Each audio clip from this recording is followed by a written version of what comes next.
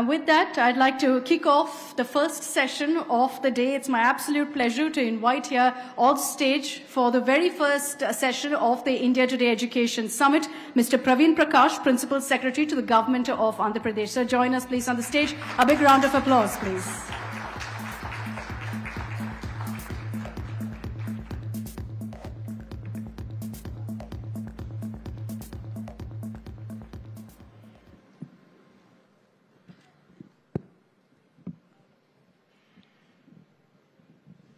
Evening, sir. Good evening, ma'am. Uh, I think uh, when I started off, I did speak about, you know, what Andhra Pradesh has done right. And perhaps the starting point of that is kind of understanding how to get right the education policy of the government. What is going to be, you know, the foresighted approach that you have when you're going to education in Andhra. So what was that about really, sir? How did you start that off? Uh, the reforms which the uh, School Education Department of Government of Andhra Pradesh started in year 2019 when the present government assumed the office, all the reforms and the policy changes were fundamentally were based on two big blocks. And the first block was while doing, take, making any change, doing any reform, how can we make the students and the children of Andhra Pradesh globally more employable? And that was the first big block. And uh, I will talk about it with few examples. For example, to make a student in India today or in Andhra Pradesh today more globally employable, the first requirement is that the student or a child should be very proficient in English language. And when we talk about English language, and if we talk about the experts in, in, the, in the education sector, they will talk about, they will say that English proficiency doesn't come only from the English subject. It's also about English of mathematics, English of science, English of social science. And therefore, there is a need for English as a medium of instruction in schools. And the journey in the last four years, today, in all 45,000 government schools, public schools which we have in Andhra Pradesh, be it in towns like Tirupati, be it in rural areas, be it in a far-flung tribal areas, also in most remote tribal areas. Every school in Andhra Pradesh today have a English medium section. So that's the first big change, keeping that big goal of a big block of making students uh, globally employable. The second thing was, is if you have to make a child globally employable, then it's not only about the comprehension of English language, or good grammar or good vocabulary. It, it's also about the speaking skill, listening skill. Unfortunately, in the last 60 70 years, nobody in our country has the capacity or has developed a framework to assess the listening or, or, a, or a speaking skill, skill framework. Uh, we were lucky that Education Testing Services Princeton, which conducts this TOEFL exam for the senior students. For example, of all of us after graduation wants to do a postgrad from US or UK, we, act, uh, we, we take this TOEFL examination. 10 years back, they have come up with another, pro, two more products. TOEFL primary for third, fourth, fifth class students. And TOEFL junior, that is for sixth, seventh, eighth, ninth, tenth students. So we have, we have signed up with them. We have entered into agreement with them and now the, all these 45 lakhs, 40 lakh students who are studying in, in government schools in Andhra Pradesh will also will be doing this certificate course of TOEFL Junior and TOEFL Primary. Come April 2024, this April, all these students will be writing the readiness test uh, uh, for a TOEFL Primary and TOEFL Junior. So that's the second big thing, uh, second thing which we have done, keeping that the, the bigger goal of making the students globally employable. The third thing was, if we have to make our today's students globally employable, we have to give them the glimpse of these future skills. Whether it's a machine learning, artificial intelligence, Internet of Things, Web 3.0, blockchain technology, uh, uh, these, these future skills, we should give them exposure. And we have introduced this as a subject. And from January onwards, we have started it. And from coming, coming academic year in full-fledged, we'll be starting this subject called future skill subject from class 8. So again, the connect is how do I make students globally more employable? The fourth thing is if you have to make in this era of, as I said about machine learning, artificial intelligence, if you have to make the students globally more employable, apart from whatever is our regular uh, assessment process or regular subjects are there, we have to expose them to the new subjects. And what are those new subjects? The first is subject of leadership. And that's very critical. The second is interdisciplinary. Third is mainstreaming these extracurricular activities. And if you look at these areas, one of the organizations which is very strong globally is IB, the International Baccalaureate. And we have entered into agreement with them. Year, now, from next year onwards, the journey is starting for a joint certification with, with International Baccalaureate and the, and the government of Andhra Pradesh. The students of Andhra Pradesh will be getting this certificate. So that's a one big block. All the reforms which started in 2019. One is I'm, why I'm doing this reform. I'm doing this reform. Why I'm making this policy change to make the students globally more employable. And the second is, was a big shift in thinking itself, in the mindset itself. Since independence, the public schools or the government schools have been seen as a places where we keep thinking about can we give minimum? Can we give a school building so that if there's a cyclone, if there's a rain, students are not sitting and not getting drenched? Can I just give a school? Starting from there, now our policies in government is not the minimum. Can we give the public school students, the government school students, the best, if not the better than the best in any school, any private school or a corporate school in, in India? So that's the shift we have made. For example, we are not talking about if, if, if the typical thinking is talk about minimum a classroom, Andhra Pradesh is talking about the good ventilated classroom with, fine, uh, with fans, lights, with a digital board, with good, uh, uh, with good benches. If, uh, if, if the whole, whole other, other places, if people are talking about uh, in, in, a, in a government school, a child should have entitlement of minimum at least two, if, if you give two, if you provide two pair of uniforms, one set of textbook, it is sufficient. Andhra Pradesh is not saying this. Andhra Pradesh is saying what is the best which is being given to the student. When the students in this country of the best school goes to, goes to school, what all they have.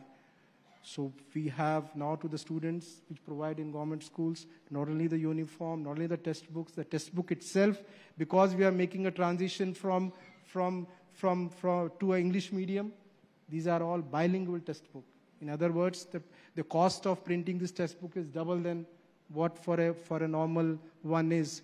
We're providing school bags, shoes, belt, uh, and also to the class 8 students onwards, a personalized digital device.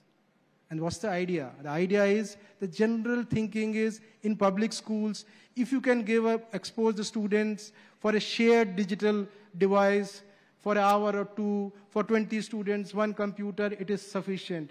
Andhra Pradesh says what is the best available, what is the best in the, in the country? The best in the country is class 8 onwards, the, the device, the, the personalized device. So that's the big shift. So to sum up again, the two big shifts which I see. One is make reforms, make changes in the system so that the students of Andhra Pradesh are globally more employable. And second, make the changes in the system, invest more in, in, in schools because change this mindset. Change this mindset of having minimum facilities or minimum facilities to the students in schools in government sector or public sector to the best facilities to the schools and students in government sector. You know, from what you've told us, the kind of reforms are quite simply amazing, transformational in Andhra Pradesh and in schools. But how, sir, and you started off by explaining that to me, saying that, you know, it isn't just in the cities of Andhra Pradesh. This is in most towns, all towns of Andhra Pradesh now that you've ensured this kind of development seeps through. How did you ensure that? Because you've done that in just from 2019 to now. So how did you really do that transformation? How did you ensure that it seeps through into every layer? So, ma'am, as I said, it's not only about the towns. So we're not only talking about those uh, schools which are there in 115 odd towns in Andhra Pradesh. We're also talking about these schools, these 40,000 schools which are there in these 10,000 villages, whether it's uh, uh, whether, whether these the villages are uh, even the remotest tribal areas also. Ma'am, the way our system in our country is, it's, it's the political leadership which sets up the agenda. And then we, as a bureaucrats, as a civil servants, we take the agenda with, with, with total energy and impl implement this in, this in the true, true spirit. So to achieve this, the first thing is about availability of budget. If we have money, then only we can get all those dreams. So first thing was we were lucky uh, that the government, the chief, uh, the, our chief minister provided huge budget to our, to our department. If we leave out the salary part, I mean, if you look at the, any state government school education budget, around 70 to 80 percent of the budget goes towards the salary of the teachers or other non-academic staff also. But if you leave out that, apart from salary, we have spent something like 74,000 crore in last four years. In other words, it is something like 9 billion US dollars. That's a lot of money and 9 billion US dollar where it has gone. So if you look at, if you compare, if you compare a, a state of Andhra Pradesh size, a Andhra Pradesh size state in our country, for improving the infrastructure in the schools, spend something around average 250 to 300 crores. We spend in the last four, three to four years average 2,500 to 3,000 crore, 10 times more than any average state government uh, does in India. So that's about school infrastructure. Second, if you look at uh, uh, the student entitlement, which I talked about earlier, which is about books, uh, uniforms and all, a typical state spends around 300 to 400 rupees per student per year while Andhra Pradesh now today spends something like 2,700 to 3,000 rupees per student per year, which again roughly will be something around 10 times more than the average. Third, uh, is if you, if, you, if you look at the midday meal program, which is there in our country for the last 20, 25 years, average state spends around per child per day 6 to 7 rupees. Andhra Pradesh spends 21 rupees per day per child. So is this transformation was possible, as I said, was this huge investment which is coming from the, from the budget. And budget is nothing but a priority of a government. So we were lucky from the school education department that it became the priority of the, for, for the chief minister and we got this money. Digital technology, if you look at. As I said, this in, in, in, in most of the states, if you go and see, the public schools and government schools will have for 20 to 25 or 30 students one computer lab desktop or a laptop. Or you will see in those public or government schools one smart classroom or a digital classroom. Today in Andhra Pradesh, class 6th onward, we have from class 6 to 12th in our 6,700 schools, we have around 62,000 classrooms. Every classroom is a smart classroom. Every classroom is a smart classroom. I mean, you see the journey from, if I had done two per class, two per school, would have been around 12,000 smart classrooms. But we have not done 12,000 smart classrooms. We have done 60,000 classrooms. Second, we are giving personal device from 8th onwards. For which means student. for each student, which means the ratio of 1 is to 20 in Andhra Pradesh context has become 1 is to 1. And that's the investment of, we are talking about investment which we have done in digital technology in the last, uh, last two years. It's uh, only in last two years. We have spent something around 2,200 crores.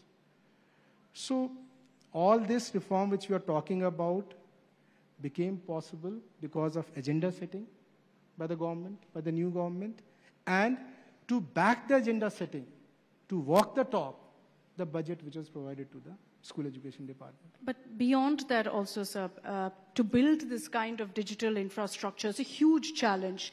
And to overcome that, not just in the sense of what you said about, you know, ensuring the right amount of devices are given, ensuring these classrooms turn completely digital, is also upskilling of teachers, upskilling of staff. So how did you ensure that you looked into all of those aspects to make this kind of, you know, tech-led learning possible? So if you look at this teacher's capacity uh, journey in India uh, in the last uh, 20, 25 years, the model which uh, till now India has followed in different, in different states is a hand-holding by high school teachers to the, they handhold the primary school teachers. There is a concept called school complex. So school complex, the nodal school will be a high school. And these high school teachers do a hand-holding, capacity building of a primary school teachers. So typically, for example, in Andhra Pradesh, we have 6,000 high schools. 6,000 high schools and we have around 40,000 primary schools. So the ratio of say 7 to 8 or 9 primary schools. So these teachers do the hand-holding. So that has been the practice in India. AP, Andhra Pradesh, in the last two years went one step ahead. Why only the hand holding by high school teachers to the primary school teachers? If digital technology led teaching and learning is so critical, if it is so central to the education system, why can't higher education institutions, why can't engineering colleges in Andhra Pradesh? Because the engineering colleges are the place, they are the hub, they are the hub of all technology, technology, digital technology. Why can't they be the center of building the capacity of, of teachers? So we took for building the capacity of teachers, so we, we, we followed two strategies. The first was the teachers, the assistant professors, the associate professors of computer science, of electronics, they became the mentor for the teachers of high, teachers uh, in, who, who in high schools and primary schools who have to do this tech-led uh, teaching. And the students have to do, these engineering college students have to do an internship or a project work in their final semester. Why can't technology-led teaching and learning also becomes one of the subject for their project work? As we speak now, today, today around 2,000 engineering students of final year. They are there in the schools. Each student handles three, three high schools, which means two days in a week. He goes there, talks to the teacher, talks to him in one to one, asks what is the fear you have, how you build your more capacity on technology led teaching and learning. So, almost continuous basis, apart from the professor building the capacity, the students, the finalist students also going and having a one to one conversation with the teachers and building the capacity. So the student becomes the teacher essentially. Students becomes the facilitator. Facilitator because now it's a new thing. In technology, as all of us know, in digital technology, what is relevant today I agree. is after three years it will not. It will And not I, be I must have never heard this strategy anywhere else before. Of students being used to kind of teach teachers as well. So we are talking about a new level of, of connect or hub or spoke model. Not from high school to primary school. We are talking about engineering colleges to high school. So that's the way we are uh, approaching. Another aspect, since you brought up uh, engineering colleges in the state, is that uh, Andhra and Telangana has the distinct reputation of send, sending more students to the United States for studies. So, is the government looking, sir, to kind of boost children and ensure that they're better prepared, better equipped to go to the United States and study? Or are you looking at bettering the infrastructure here so that most students say, hey, let me not go to America, let me stay in Andhra, in my hometown or in my city and study? See, the way our policy, and this we keep discussing in our review meetings also with our Chief Minister, and uh, he constantly talks about this issue. Let's, let's build their capacity and let's let the final choice be left to the student. We should respect the decision of the students, we should respect the decision of the parents and students together. In fact, when the first time when we in 2020 we started, we have a scheme for the poor students uh, from, the from class 1 to 12, uh, means scholarship, where every, every child, every student who has attendance of more than 75%, his or uh, her mother uh, gets, uh, gets around 13,000 rupees in compensation of the wage loss. A lot of discussion was there that let us do this scheme only for the students who are going to the government school. Uh, the, the, the chief minister was of the view, no, we should respect, we should respect the, the, the parent's choice or the student's choice. Let the scheme be open even to the students, the poor students who are studying in private school. So it's not one against other. It has to be a positive com- competition. It need not, it should not be a restrictive competition my government school should be so good that naturally the parents and students should come to me, not forcefully. Wonderful. Uh, in the last uh, few years, uh, uh, has the chief minister had a checklist of sorts of how he wants education to be transformed, and how many of those boxes have been ticked essentially? So education and health, ma'am, they are very they are very process driven and a long gestation sectors. It's not like, you know, it's not like a building which I have to construct in one year, two years, I can construct a building, a flyover I want to construct, I can construct a flyover in two or th- three years. Education and, and education and health, these two sectors are so much HR driven, human, human resource driven sectors it requires a constant effort over a period of time. It requires a good seven to eight years, constant, constantly working on those to get the results. But having said that, they are, we, have, we have very, very encouraging signs.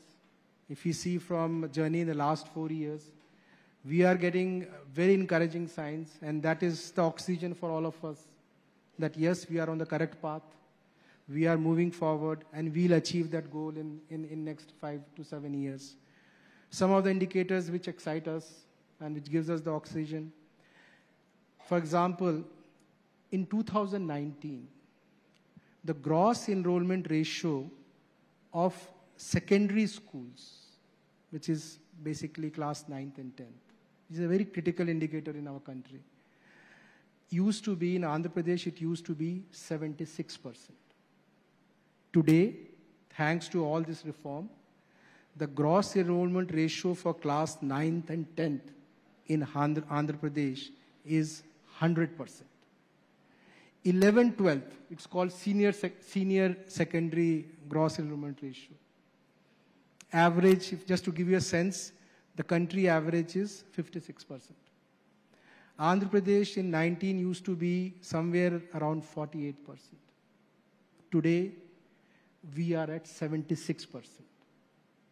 There's one district in Andhra Pradesh, uh, not very far from Tirupati, called Nandyal district. The Nandyal district has claimed and has achieved 100% GR in all the three sectors. We call it composite GR, from class 1 to class 12. But the way we position ourselves, we say that's what the work we have done but let it be verified by a third party which is not a state government entity. So we have requested the Quality Council of India, which is, uh, which is a government of India uh, organization, a very reputed organization. We have asked Quality Council of India to check and tell what we are saying is correct or not. I may say, yes, I have achieved 100%, I have done this, etc., etc. People may say, okay, you are the doer and you are announced, you are the student and you yourself are writing exam for yourself. So as we speak today here, the Quality Council of India has started their work in, in, in Nandyal. And two months from now, you will hear this news that Nandyal district has perhaps become the first district in the country, in the country. We have 600 such districts in our country. First district in the country which has achieved this composite GR. So one is access part of it. We see early signs, we see these results, positive results as I spoken, gives us, it, it gives us oxygen. The second thing is about learning outcomes. Okay, these are inputs. What are the learning outcomes? So as you know, in our, uh, in our system, in Indian system, till class 9th, it's all assessment. The examination, the first public examination, uh, very proctored, starts in class 10th in our country. So if you look at the class 10th result of Andhra Pradesh this year, of government schools, I mean, that's where you're the bottom of the pyramid are. Our high school result this year compared to last year is up by 13%. It's not 1 or 2%. We are up by 13% compared to last year. If you look at the students who scored the 10 highest ranks, I mean, obviously in every rank there will be many students. It's only 600, uh, maximum marks is 600.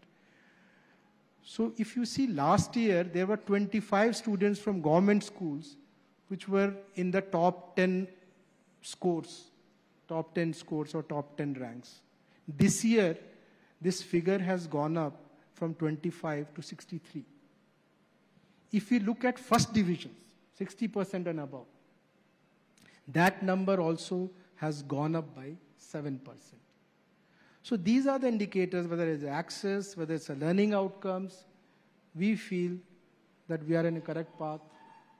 We have to keep, uh, keep uh, walking. And as uh, we keep in our review meetings, our chief minister keeps motivating us by saying, always think can I do better than what I have done yesterday? So that has to be journey. Education and health are like that sectors only. So he keeps you moving, he keeps you achieving all of these goals. Uh, what's also important in the sector like education is, as you've mentioned, using the kind of tools that you have available, using technology. And a big aspect of that, the buzzword going into 2024 has been AI, artificial intelligence. And I understand that AI also has played a big, big role in education in Andhra Pradesh. Can you explain how exactly to us? Yes, ma'am. There, ma'am, there will be a detailed session on this. Yes. I'll just touch upon uh, this. So, when we, as I said about in the policy, the second part of policy was, is it anything which my students who are studying in government school, are they missing anything? And then one of the area which was brought to the notice was in the private schools or then for the middle class family student, uh, children, they have something called remedial coaching in the evening, the tuitions in the evening. So morning they go to schools and evening the tuitions. Correct. How do, obviously we can't provide tuitions, but can technology help us in this? As I said, we gave this personalized device from the class 8 onwards to every student. And personalized device means a student has access to, to, to, to all that e-content 24 by 7. And then the content which you took was which everybody, if you ask every second or third student in this country, the best, uh, the best in the country, the Byju's content. I mean, uh, we are thankful to, the, uh, to Mr. Byju's for providing this content to us. And what's, I mean, those who have gone through the content, they will tell. What's special about that content is the content has been uh, made using gamification as a process, as a approach. So like we get excited playing a video game. Uh, you have, I have won this point, that point, this medal, you reach there, this destination. Similarly, this content which has been made by this Byju's company has actually been built using gamification as a, as a, as a concept. So we gave this content to all the students and loaded in their, loaded in their uh, um, uh, Tabs. tabs. The second thing was, okay, I am see the content morning and, um, you know, in the morning time, the student, uh, the teachers have told, evening I'm seeing the content, what will, if I have a doubt? What do I do till I have a doubt? I need a clarification. So we have also loaded a AI bot, a AI tutor in all those tabs. And you see, and you, you know this generative AI. Generative AI is, I can do a conversation. See, if, if you search through, through any, other search tool like Google and all, it will just list out 1 lakh pages, 2 lakh pages, 3 lakh pages. But these generative AI will give you, will have a conversation as if I'm having a conversation with a human being. So these all tabs which we have been given, for example, every, we have 4 lakh, uh, we have uh, around 4 lakh students in every class. So all 4 lakh students in class 9th, all 4 lakh students in class 8th. We started this from last year, so two years over. So these 8 lakh students have this AI tutor. They have a tutor. They have a friend with them. They have a tuition teacher. Use a tuition teacher in the evening. But the way we have trained this AI bot, it will say, uh, it will say, suppose it's a biology AI bot, and if a child asks any question other than the biology, then it will say, student, I am your biology teacher. I can't answer you anything other than that. So that's the way it has been trained. So that's the way we are using AI for the education purpose. We are also using AI for our governance process. Uh, for example, I'll just give you uh, one or two examples about for governance. Now, as I said, we are spending a lot of money in, uh, in providing midday meal. As I said, other states are spending 6 rupees, 7 rupees per child per day. And we are spending 21. So huge lot of money we are spending. Can I use artificial intelligence for monitoring the quality of meal which is being provided? So how did we achieve this? We, we on rotation basis, a school has a 15 or 20, 15 teachers, a 10 or 15 teachers. On a rotation basis, there's a duty of one teacher who takes this picture. So in all 45,000 schools, one teacher on a rotation basis takes the picture of this, of the meal which is prepared on that day and uploads on the cloud. And this tool, which has been trained by, actually the, trained by using almost 2.5 crore pictures of meals, can detect is it a good meal or it's not a good meal. Similarly, as I said, we are spending so much money under, under, uh, under uh, uh, infrastructure upgradation. In fact, not only upgradation, uh, uh, the chief minister was very particular that whatever infrastructure we are creating, we should have maintain it also equally well. So we have perhaps we are the only state in the country which has a budget line called toilet maintenance fund. There is a separate budget head called toilet, which means this money will be used only for maintaining toilets, nothing else in the school. So almost we spend around the budget line is something around 450 crores. So when we are spending so much money in constructing the best quality of toilets, maintaining, then same similar thing has been done. That on rotation basis, uh, there's a responsibility. You click the picture every day, put it in the cloud. Again, using almost uh, uh, 1.5 to 2 crore pictures of toilets. Now this AI tool is there, which which reads it and tells it's a good toilet. And then that message goes to all the supervisory officers, whether they're at a block level, district level, etc. So AI for academic purpose and AI for a non-academic purpose, both we are using. That sounds amazing, and it's the best use, perhaps, of technology uh, for education also. And as you said, also to kind of keep stock of what's happening uh, in many of these school systems. You know, the government schools right now in Andhra Pradesh clearly have undergone this transformation, but there is, uh, uh, and it's very real. We've seen this many years ago, perhaps today lesser, but it's still there. A stereotype linked to government schools that, you know, private schools are better, government school students aren't the same. And today, when you talk about all of these opportunities, these kind of features, resources available with students, uh, how do you also ensure that they're employable globally? The global employability opportunities are also available to these students. As I, as I said, that all these interventions which we are making in the beginning itself, I was explaining,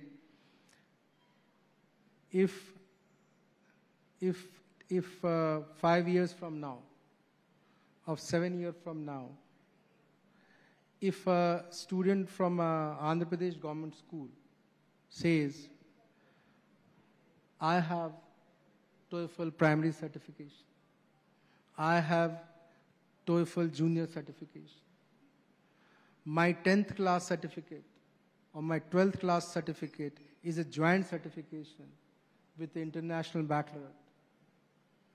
I have also a subject certificate with the future skills like artificial intelligence, machine learning. It's not that student will be after the companies. We feel other way around. Companies will be after the students of Andhra Pradesh. Amazingly put. Uh, your state, of course, has focused so much on education, as you've told us. And now you hear a lot of these education models, the Andhra education model, uh, the Delhi education model. What does it really do for a state, sir? Yes, it transforms the life of a student, it transforms the opportunities that a student has. But why is education so crucial in also ensuring, you know, holistic development of a state or of the country? As I said, uh, this uh, the in, in, in governance, there are 60, 70 different areas, and every area has a department. The departments, different departments in government. And uh, it's the political leadership which then prioritize out of 1, 1 to 70. So definitely, why education has been in so much in focus in Andhra, uh, is, is, is, is, under so much talk, everybody's talking about Andhra Pradesh model, is, uh, is, is because it has been put as a very, very high priority by the, by the, by the chief minister. Why chief minister has put it at a high priority? He is there tomorrow with you. Perhaps you will ask this question from him. What I understand, what a, what a sense I get, and, and the correct answer will be given by him also. But what a sense I get, that if Andhra Pradesh has to compete with the likes of Chennai's, Bangalore's, and Hyderabad's, then what they can position to the global companies is, is that we have better quality of human power. We have globally employable human power. And I have heard this from the Chief Minister many times because the two big, big areas where uh, AP has advantage over others, even we don't have uh, Chennai's and Bangalore's and Hyderabad's, is one is port-led industrialization. On the east coast, we have the lo longest coastline. And second, the AP is endowed with beautiful uh, nature. So the ecotourism is possible. And, and he keeps talking about it. In these two sectors, these, these service sectors have to grow. Then the students, the youth of Andhra Pradesh should be globally employable. If they are globally employable, their best industries will come and put up their shops in, in, in the industrial zone, which are there next to the ports. The big uh, tourism uh, shift, uh, tourism, uh, uh, tourism jump will come in our country. So I think one is his own priority, his own passion. I think when we see him, he he's personally so, passionate. So now you see it's January. It's January. The election is only two, two and a half months. Ideally, and our state is going for election, which is both uh, parliament as well as assembly elections. It's a, it's a big thing for the state. So ideally, the chief minister should be only thinking about politics. But every day, almost every day, from him or from his office, I get three or four calls. What happened to that project? What happened to that project? What happened to that project? So I think it's his passion, with the passion, the vision which I spoke about. And as Mr. Prakash said, tomorrow, of course, we'll hear from the Chief Minister himself about his personal passion in transforming education. Going forward, sir, with all the reforms that you've undertaken to change the face of education in Andhra Pradesh, going forward in the years to come, what do you think needs to be kind of added up to pad up the education sector in Andhra? What really will give it that leg up after the steps that you've taken so far? I think the, the big project which we are looking up to is our partnership with uh, uh, IB, the International Baccalaureate. Uh, we have entered into a partnership with them, and uh, the next one year, we will be training all our officials, not only teachers, but officials, and we'll start this journey of, and the partnership which we are doing with, uh, with the International Baccalaureate or IB is, is in a very, very uh, sequential or progressive manner. We're starting every year one class. So the whole transformation of IB inspired teaching will happen in government schools in Andhra Pradesh from one year from class one, the next year class one to two, the next year one, two, three. So it's in a gradual manner. So the system is also able to absorb the transformation better. So I think that's the one big thing which we are looking at. We also want to consolidate on, on as I said, about can we put this future skills, future skills seeds in the minds of the students from class 8 through the students of engineering college. And how it is being visualized is if it's a eight credit project work for an engineering college student, he will be assessed how good he taught, he facilitated the students in this future skill subjects. So that's a, that's a, that's a second area which we'll be looking. Third area also where I'm sure that we are looking up and the whole country will be looking, how good is this product called TOEFL Primary or a TOEFL Junior, has, which is a very new project, new product. Uh, TOEFL uh, Senior has been in existence. They will tell you ETS, I think, from 65, 70, or some 75 onwards. But these are like last 10 to 15 years, never attempted in government schools in India. So these are the three things which we have to consolidate uh, uh on us and take the journey forward. But as everybody says, it will be uh, taste of pudding is in eating.